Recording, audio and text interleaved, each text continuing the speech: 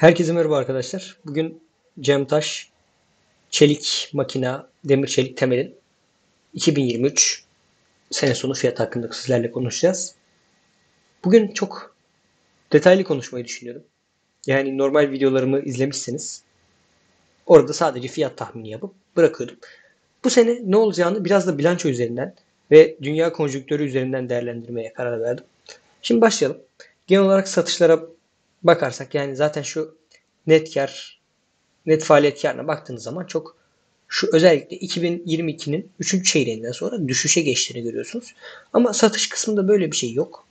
Şimdi 2021 yılında 1,5 milyara yakın bir satış yapmış. 2022'de bunu 3 milyara çıkarmış. 3 milyar 300 milyon yani iki katına çıkarmış. Biz e, yine şöyle hesap makinesinde açayım.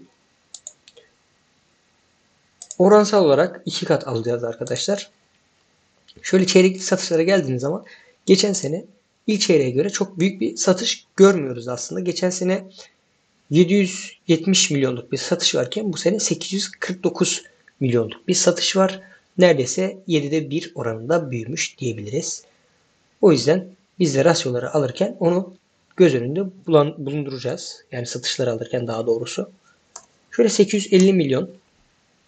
İkinci çeyrekte 962 milyona yakın bir satış yapmış. Bunda 1 milyar olarak alırsak Üçüncü çeyrekte 777 milyona yakın bir satış. Bunda yine 870 milyon alırsak 7'de 1 oranın denk gelmesi açısından.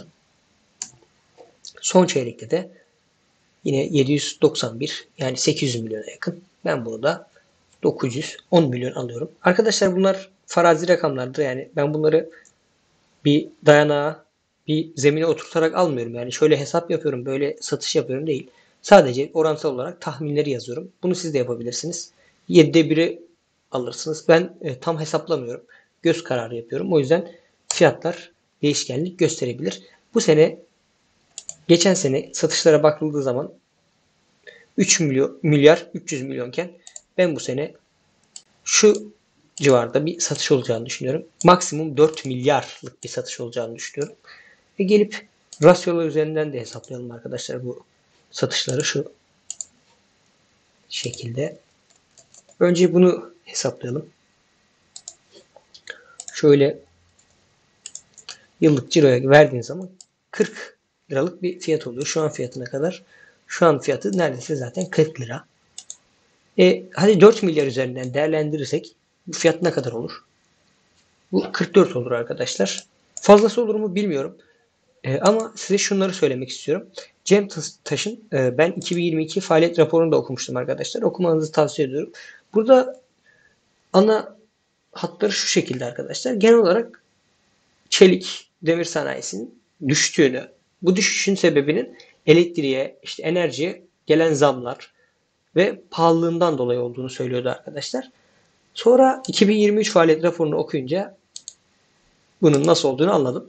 Şöyle gördüğünüz gibi dünyada demir çeliği ele aldığında dünyada demir çelik üretimi 2023 yılının ilk 3 ayında 2022 yılına göre yaklaşık %0,1 oranında azalış göstermiş ve yaklaşık 460 milyon tona gerilemiştir arkadaşlar. Türkiye'de demir çelik üretimi ise bu orandan kat kat daha fazla. Çünkü Türkiye'de ülkemizde demir çelik üretimi ise 2023 yılının ilk 3 ayında 2022 yılına göre yaklaşık %21,5 azalarak toplamda 7,4 milyon ton olmuş ve Türkiye üretim sıralamasında dünyada 9. sırada yerini almıştır arkadaşlar.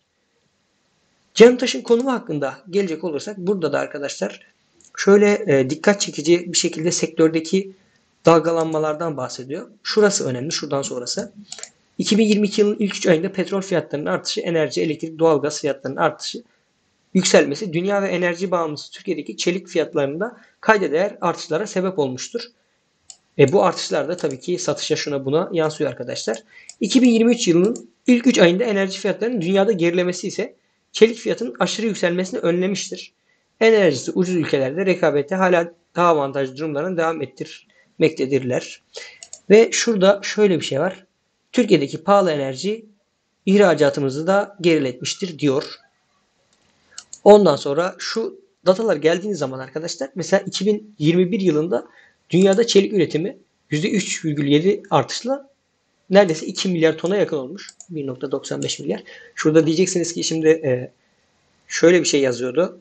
Sen niye şimdi burada böyle dedin? Nerede o? Şu dünyada çelik üretiminde. Bu arkadaşlar 460 milyon sadece sanırım ilk 3 ayı kapsıyor. O konu hakkında pek bir bilgim yok. Şöyle dünyada çelik üretimi sıralaması da var. Türkiye sanırım e, daha öncelerden farklı bir sıralamadaydı arkadaşlar. Şöyle görüldüğü gibi 2021 yılında Türkiye bu üretim sıralamasında 7. sıradayken bu sene güncel konuda 9. sıraya gerilemiş durumda. Tabii ki e, bunun tamamını okumanızı istiyorum. Gerçekten çok güzel şeyler var. Çok güzel kararlar alabilirsiniz yatırımınıza dair. Fiyat bu arkadaşlar. Hepinize iyi günler diliyorum.